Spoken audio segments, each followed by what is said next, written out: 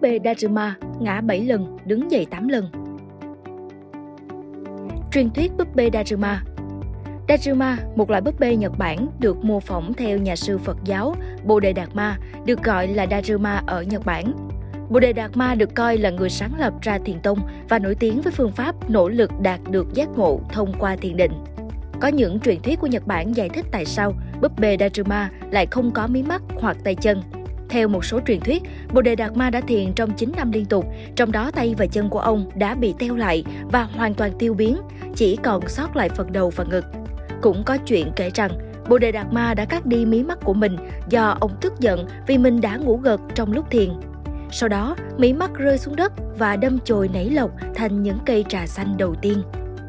Biểu tượng của sự may mắn Búp bê Dajima phổ biến nhất có áo choàng đỏ và khuôn mặt trắng hoặc hồng đào. Lông mày đen được vẽ trên khuôn mặt của daruma thường có hình dạng tượng trưng cho loài hạt, được cho là sống 1.000 năm, trong khi bộ ria đen tượng trưng cho rùa, được cho là sống 10.000 năm. Ở Nhật Bản, khi nói về hạt nghìn năm, rùa triệu năm, thì nó là những con vật tượng trưng cho sự may mắn và trường thọ. Chính vì mang đến điều lành cho mọi người, nên từ xa xưa, búp bê daruma đã được rất nhiều người yêu thích. Ngoài ra, daruma còn được người Nhật ưa chuộng và xem như một lá bùa hộ mệnh sau khi bệnh đậu mùa vào thời Minh Trị biến mất. Sau này, việc sử dụng búp bê daruma là bùa may mắn bắt đầu trở nên phổ biến.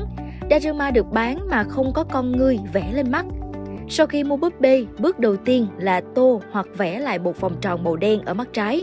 Sau đó, daruma được gửi lại tại một ngôi đền hoặc nơi dễ dàng nhìn thấy để nhắc nhở bản thân về mục tiêu mình đã đặt ra khi tô con mắt trái. Khi điều ước thành hiện thực sẽ tô con mắt còn lại. Hành động hoàn thiện con mắt thứ hai thường được gọi là Mega Deju, có nghĩa là đôi mắt đã xuất hiện. Búp bê Daruma chỉ có màu đỏ. Bạn rất dễ dàng để bắt gặp búp bê Daruma màu đỏ tươi với một mắt được vẽ ở bất cứ đâu trên khắp Nhật Bản, từ phòng chờ bệnh viện, công ty lớn đến nhà riêng. Ngoài ra thì búp bê Daruma có thể được mua vào thời điểm như trước đám cưới, đầu năm học mới hoặc những thời điểm quan trọng trong cuộc đời với mong ước mang lại may mắn. Búp bê Daruma truyền thống thường sẽ có màu đỏ, nhưng ngày nay thì bạn sẽ dễ dàng bắt gặp những màu sắc khác như màu tím, vàng, đen, xanh, mỗi màu biểu thị cho một điềm lành khác nhau.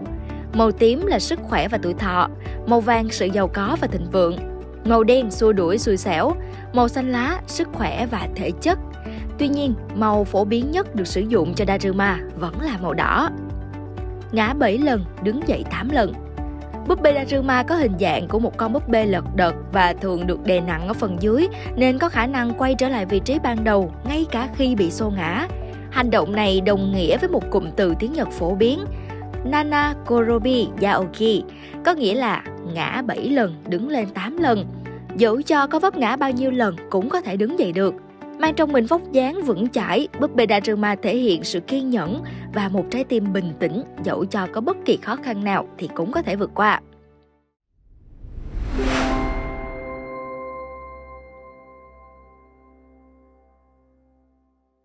Nếu bạn muốn biết thêm về văn hóa, công nghệ, con người, giáo dục và nhiều điều thú vị khác của Nhật Bản thì đừng quên like, share và subscribe nha.